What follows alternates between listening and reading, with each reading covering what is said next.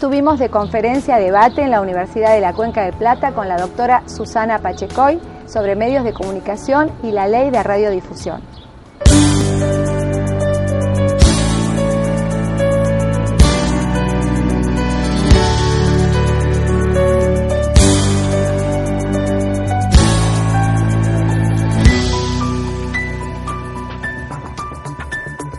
Bueno, soy Susana Pachecoy, soy especialista en radiodifusión y telecomunicaciones, también especializada en educación, lenguaje y medios en la Universidad de San Martín. Eh, con mucho gusto acepté una invitación de esta casa de estudios para hacer una exposición sobre el marco regulatorio de la radiodifusión, eh, tratando de hacer un semblanteo sobre el régimen legal vigente en nuestro país eh, y, lo que ocurre en el resto del mundo en el derecho comparado. Eh, tema que adquiere alguna trascendencia importante en términos de que hay alguna propuesta aparentemente firme de avanzar en este tiempo de parte del Poder Ejecutivo Nacional para modificar la ley vigente. Eh, se trata ciertamente de un tema estratégico, esencial, de estos temas que poco se conoce y se habla, porque son de las cosas que desde los medios no se habla, eh, y que reviste un valor casi tan estratégico como si se tratara de la ley de educación. Se trata de establecer el marco regulatorio de construcción de un modelo de comunicación y por ende un modelo de sociedad.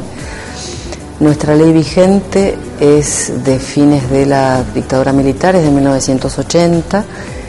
y está atrasada significativamente desde, desde el, como marco regulatorio toda vez que al momento de su sanción no, no existían tecnologías de la comunicación que hoy forman parte de nuestra vida cotidiana al punto tal que en el texto original de la ley ni siquiera aparecía la, frecuencia modulada, sino como servicio complementario, y ni siquiera aparecía el, cable. Ni que hablar, eh, estando a las puertas de la digitalización en el mundo, de lo que significa este atraso normativo. Pero bueno, este atraso normativo que, eh, por otra parte, mm, no es la ley que rige en el texto originario, sino que es una ley que sufrió modificaciones en estos 25 años, eh, la mayoría de las cuales a través de decretos de necesidad y urgencia, y que permitió que en nuestro país eh, exista un modelo de concentración de medios eh, que tiene pocos parangones en el mundo algunas similitudes en Latinoamérica, pero muy pocas, y en realidad hay, pocos modelos en el mundo con tanta concentración de medios. En realidad las modificaciones que se dieron durante los 90 permitieron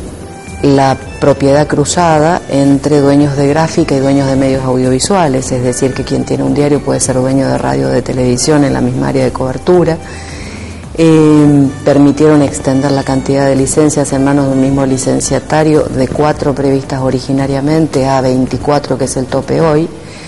Permitieron la transferencia de las licencias, que eran intransferibles. Eh, todo esto, digamos, permitió la mm, creación de este modelo de concentrado de la comunicación que tenemos en nuestro país. Pero por otro lado, esto mismo fue desde algún otro lugar la razón que impidió que se regularice y se normalice el espectro radioeléctrico, que impidió que el Estado administre el espectro en definitiva y que los particulares o quienes estuvieran interesados en ejercer la radiodifusión pudieran acceder. Lo más grave de todo esto es que quienes quedaron afuera de todo, de todo es justamente es la población, porque cuando se habla de ley de radiodifusión, no se está hablando solamente de la libertad de expresión, sino que se está hablando esencialmente del derecho a la información. Es decir, el derecho a la información de la comunidad y de la sociedad, de que pueda tener alternativas distintas eh, para expresarse y para recibir información.